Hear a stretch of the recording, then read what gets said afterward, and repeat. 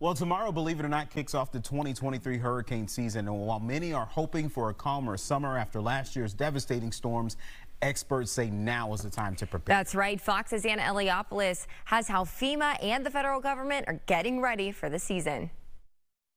For the 2023 hurricane season. President Biden briefed by cabinet members, FEMA, and his Federal Emergency Preparedness and Response Team on the projections for the 2023 hurricane season, which kicks off in the Atlantic on June 1st. We're getting more and more accurate forecasting of hurricanes, their tracks, their intensity, their associated storm surge, which means saving more lives because we can anticipate what is likely to happen with greater accuracy.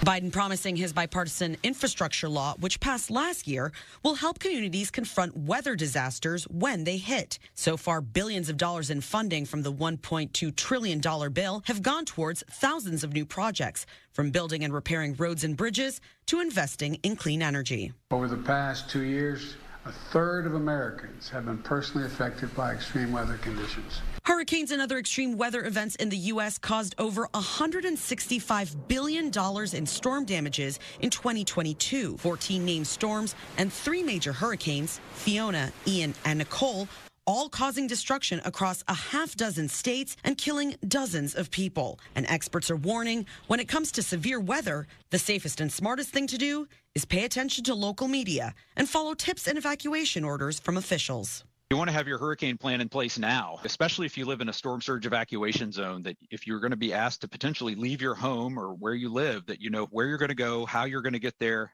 what you're going to take with you. The 2023 hurricane season runs until the end of November. In New York, Anna Eliopoulos, Fox News.